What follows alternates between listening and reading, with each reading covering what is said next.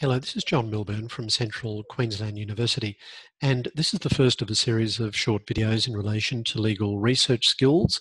The concentration of my material will be online resources. So, generally, when you commence legal research, you would refer to legislation, and uh, we'll have a look at a few places where you might look at that to start with. From a federal level, um, I would recommend that you look at the Federal Register of Legislation. I'll share the screen so we can look at that now. We'll come back to a number of these websites and um, platforms uh, during the course of these presentations, but this is just to give you a brief introduction.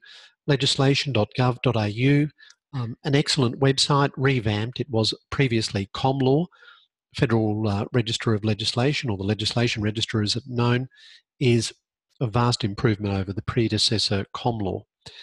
The um, Federal Register of Legislation is an authorised whole of government website for the Commonwealth legislation and related documents. The related documents are very important when it comes to legal research. You'll become familiar particularly with bills and um, uh, materials such as explanatory memoranda. It contains in this website the full text and details of the life cycle of individual laws and relationships between them. So when we talk about the life cycle of individual laws, we're talking about the, your ability to determine what the law was at any point in time, and you need to do that when you're undertaking legal research. All right, so that's briefly uh, the Federal Register of Legislation. From a Queensland perspective, the authorised website is Queensland legislation. So this is legislation.qld.gov.au. And uh, this is a revamped website. Again, it's very um, good, user friendly, has a lot of material um, which is valuable. And as mentioned, it's the authorised site as well. So this is produced by the Queensland Parliamentary Counsel. And uh, it's a place that you should look to for legislation and material about legislation. So that's legislation.qld.gov.au. The alternative that most people use when looking for legislation in Australia is AustLII. Again, a revamped version of the familiar website. This um, website is excellent. It's not authorized, but it is uh, up to date um, usually, and um, it's excellent material. It has wonderful resources, case citators, note up functions, and uh, we'll go through that in more detail. Now, apart from that, you might look at um, uh, another excellent free website, which is Jade BarNet. So, Jade is um, an excellent resource. It has a wonderful platform. It has a great way of presenting its material. It has a citator as well, Casetrace. Um, it's very user friendly and um, it has references to uh, material that is uh, up to date. It's not authorized material, but it is nevertheless authoritative and uh, it's all free. Uh, one of the good things is that you can sign up to receive materials on a regular basis, daily if you wish, in your preferred areas of practice. So if you subscribe to Jade, you will receive these um, up to date materials to your inbox uh, when you request it to be done. So we'll come back to Jade quite often. That's an excellent site. Com CommonLII is um, part of the AustLII type, uh, the, the, Legal Information Institute series. This is for the Commonwealth, and um, it is uh, excellent when it comes to looking at English law. You can access Australian law as well, and uh, law from all around the Commonwealth. Okay, so there's some of the free websites. From a uh, for a paid subscription is Lexis Advances Advanced Pacific. Uh, again, it's revamped. This was formerly LexisNexis AU. It's um, very user friendly. I think you'll find the information here about the secondary materials to be excellent, such as uh, the Australopedic uh, Encyclopedia Legal uh, Dictionary and the excellent Halsbury's Laws of Australia. It has excellent um, uh, material by, by, reference to the authorised Queensland reports. It has uh, information on Casebase, which is a very good citator. So this is just a brief run through at this stage for you. The next is Westlaw, very popular. Um, I guess a direct competitor of the uh, Lexis Pacific Advance, uh, sorry, Lexis Advance Pacific website. And when it comes to Westlaw, you'll probably be looking at um, things like First Point, which is uh, an excellent citator. Uh, you have some authorized reports as well, and you have um, information about legislation and a lot of secondary material, um, which is very authoritative. So, in that regard, probably the laws of Australia is where you would look if you're looking for general information uh, to assist you. Over on the side, you have to the right hand side some quick links and um, uh, some good inf- information there about evidence law and civil procedure. Other than that, um, I would recommend that you consider some free websites. The first is Legalpedia Queensland. Legalpedia is an online legal database. It was ho- it's hosted by LawRight, which is formerly the Queensland Public Interest Law Clearinghouse Incorporated. So Legalpedia has some uh, up-to-date materials in relation to a wide range of uh, law. Probably at a more basic level slightly, but very authoritative, excellent resource through Caxton um, Legal Centre Incorporated is the Queensland Law Handbook. Look, it's comprehensive, it's uh, plain English legal research, and it will help you deal with um, your legal problems, it says, and it's true to its word. So um, that's an excellent resource, and you can just use the browse facility to look at that material. Again, on the topic of free websites, let's have a look at the Supreme Court Library of Queensland website. If you're in practice, you may be eligible to sign up for uh, some uh, material which is provided free of charge beyond what you can access from the website uh, publicly available. So here you can find court decisions. You'll see up-to-date court decisions. For example, uh, a decision recently from the Queensland Court of Appeal. Again, you, you can subscribe to receive information into your inbox for up-to-date materials.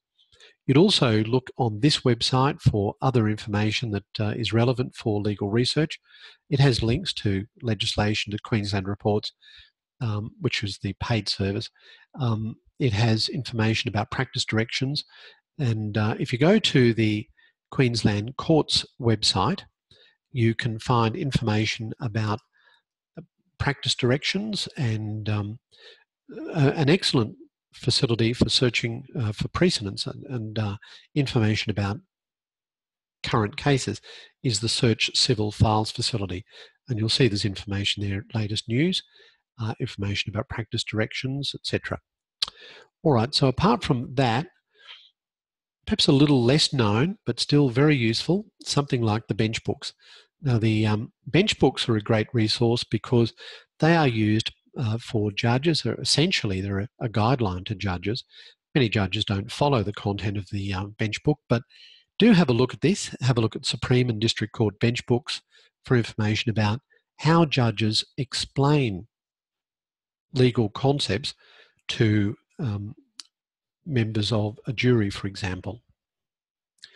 Um, also, have a look at the, uh, and I won't bring it up on the page, but the Queensland Sentencing Information Service, and I saw that on the Supreme Court um, page. All right, so just on the topic of bench books, one that's um, very comprehensive uh, is the Domestic and Family Violence Protection Act bench book, and uh, there's a lot of material there which will assist you if you're dealing with that area of practice. If you wish to stand on the shoulders of giants, as it were, Google Scholar is an excellent resource. And um, you can see there that there are linked to articles or case law. So, Google Scholar, often overlooked, I think, when it comes to um, uh, legal research generally. Then finally, um, sorry, the Queensland Sentencing Advisory Council has information that is up to date, um, particularly in relation to sentencing for but well, both adults and children. And the idea of this uh, website is to promote understanding about the sentencing process and uh, provide information for the benefit of the community. Right, I'll stop the share at this stage. So, having identified these various websites that you can access, I guess the question is where do you start? How do you go about doing it? Well, the first thing that you need to do is consider your research methodology. Everyone will have a slightly different methodology. There's no one right answer to this.